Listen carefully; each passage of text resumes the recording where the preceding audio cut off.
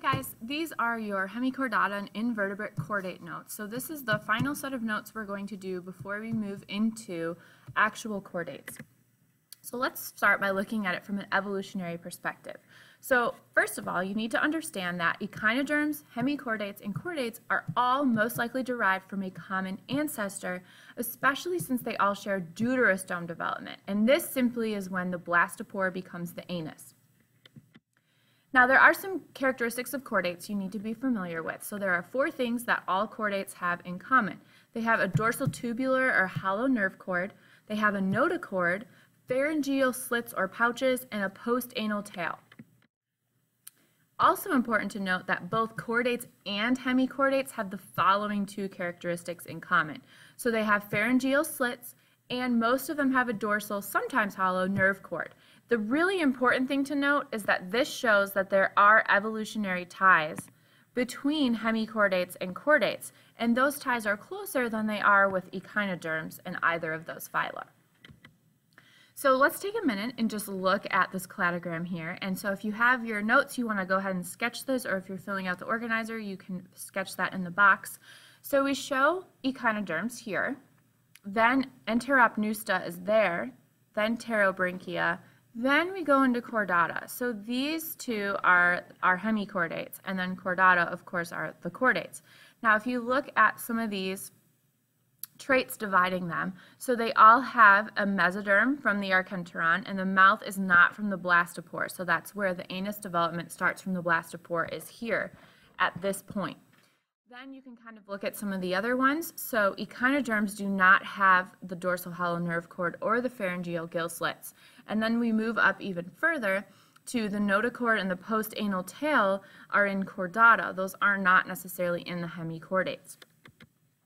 So let's talk a little bit more about the hemichordates. So the term hemichordata in general simply means half chord, and this includes things like acorn, acorn worms and pterobranchs, and they live in or on marine sediments. So there are five characteristics of hemichordates that you need to know. First of all, they're marine, like we mentioned, and they're deuterostomes with bodies in three segments. So they have something called the proboscis, a collar, and a trunk, and we'll look further at that those anatomy things. They have ciliated pharyngeal slits, ciliated meaning they have those little hairs. They have an open circulatory system, a complete digestive tract, and that dorsal, sometimes hollow nerve cord that we've talked about. There are three classes of hemichordates then that we're going to discuss. First is class Enteropneusta. Now this class is the acorn worms, and they're named because they have something called a proboscis at the anterior end.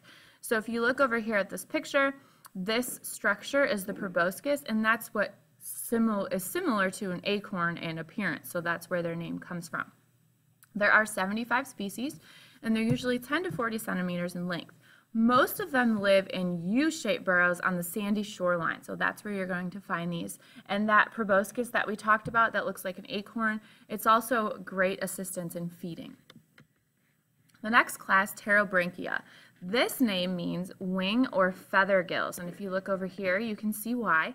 They are very similar to some of the worms that we've talked about that live on the ocean floor as well. So there are around 20 species of these, and this is the most commonly known species, the Rhabdopleura. They are small, and they often live in tubes in asexually produced colonies. They do also have a proboscis, but it's more shield-like, and it secretes from the tube. They're found mostly in the deep oceans. So the acorn worms are going to be close to the shoreline. These ones are going to be in the deeper oceans, typically southern hemisphere and they use the cilia that's on their arms and tentacles to filter and transport food into their mouth. The final class is class Planctospheroidea. Now these have a spherical body and they have ciliary bands covering the surface. Once again, the U-shaped digestive tract, it is, they are considered coelomates, so they do have a coelom, but it is very poorly developed. They are known for their free-swimming larvae and ironically, there's only one species known to exist, and it's almost impossible to find a picture, so that's why we have a drawing. Finally, then, phylum Chordata. So there are five characteristics of phylum Chordata.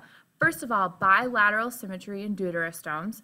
They have the notochord, the pharyngeal slits or pouches, dorsal nerve cord, and postanal tail present at some point of development, because you're probably thinking, wait a minute, I don't have gill slits or a tail. Yes, we are chordates, but this is earlier on in our development. We also have something called an endostyle, which produces mucus or a thyroid gland. They have a complete digestive tract and ventral contractile blood vessel, as also known as the heart. So here's some definitions of the phylum Chordata that you need to be familiar with. So the notochord itself is just a supportive rod that extends most of the body length. Those pharyngeal slits we talked about that we have at some point in development, they're openings along the pharyngeal region. Invert chordates use this for filter feeding, but some chordates, we will use them for gas exchange, but it doesn't always stay with the chordates throughout their lifetime.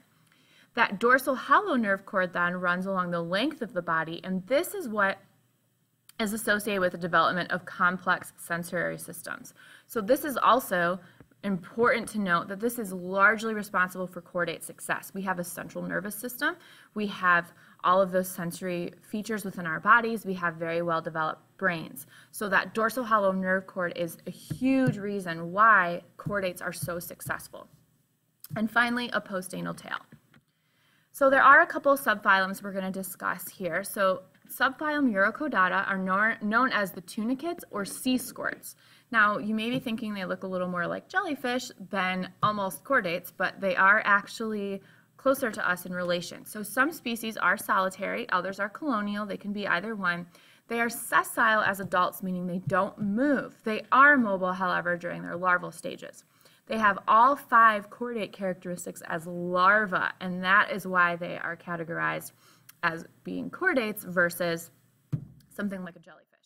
They also, just so you kind of know how they settle, they settle head first into a hard substrate, and that's where they undergo that dramatic metamorphosis, and all those chordate characteristics disappear, and they end up looking something like this a little bit more about them. So they're called sea squirts and they're covered by something called a tunic. So this tunic is made of protein, salts, and cellulose, and it encloses a basket-like pharynx.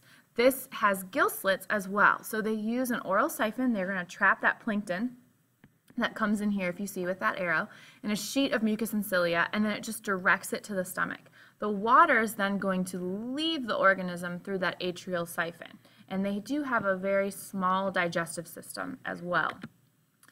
The other subphylum we're going to talk about is Cephalochordata. So there are 45 species here, and they're called lancelets. Now they look very similar to some of the fish and the lampreys and things we're going to talk about more in detail. The name itself means head cord. They are exclusively marine. They like shallow waters and clean sands, and they're tadpole-like animals only up to 5 centimeters, so not very big. And it's important to note that although they are capable of swimming, they're usually buried in the sand with their anterior end exposed. They do have all chordate characteristics, those five things we talked about throughout their life history. And most of the cells in the notochord are muscle cells, which is important because that is what makes them unlike other chordates. So their notochord is actually a contractile muscle versus ours that does not function like that whatsoever. And that's all for your notes.